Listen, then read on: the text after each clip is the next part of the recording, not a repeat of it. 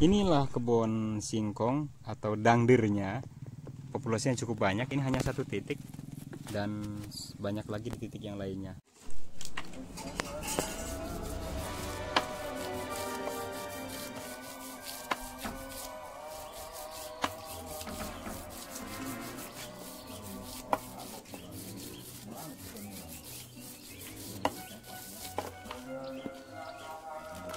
JD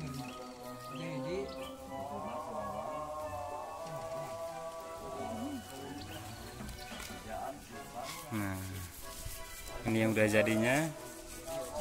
Setelah dibentuk seperti itu,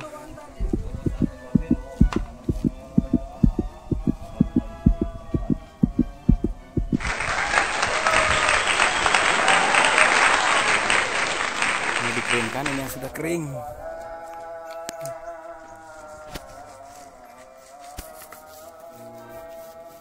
Iya. Assalamualaikum warahmatullahi wabarakatuh. Eh, Selamat sejahtera bagi kita semua. Hari ini saya sedang berada di Desa Babadsari, Kecamatan Jiput, Kabupaten Pandeglang, di rumah eh, pengrajin emping singkong. Ya, ini di desa tepatnya di desa Kampung Limus Piit. Ibu ini hari ini sedang bersama Ibu siapa bu? Ibu Supriya yang kebetulan nih sedang memproduksi eh, emping singkong. Nah, ini dia bahan-bahannya. Ini bahannya singkong aja bu ya? Bahannya singkong aja. Caranya gimana nih bu? Sebelum bisa begini, di ditutup-tutup ya, di ini apa namanya? Ditumbuk-tumbuk, ditumbuk-tumbuk. eh, apa namanya? Tentu kalau awalnya itu di apa istilahnya? Oh, ada bumbunya ada garam aja ya. Ada garam. Ini prosesnya seperti ini. Sederhana tapi ini luar biasa. Eh, ini ditipiskan semacam ini nanti dicetak dengan cetakan canggih ini. Nah,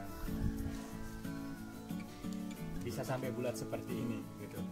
Eh, apa namanya? Bu kalau boleh tahu ini harganya berapa Bu per kilo?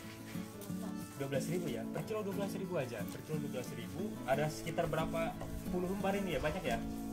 Banyak ya? Mungkin ada sampai 50 lembar lebih. 50 lembar lebih dijual dalam bentuk per kilo dan sudah kering tentunya. Sudah kering. Ini apa namanya? Makanan menyehatkan karena memang ini bahannya alhamdulillahirobbilalamin ini masuk ke luhur eh, apa namanya? Kita mungkin rehat dulu Eh, kebetulan sudah dapatlah kita sudah tahu harganya. Nanti kita sambung lagi. Terima kasih. Assalamualaikum warahmatullahi wabarakatuh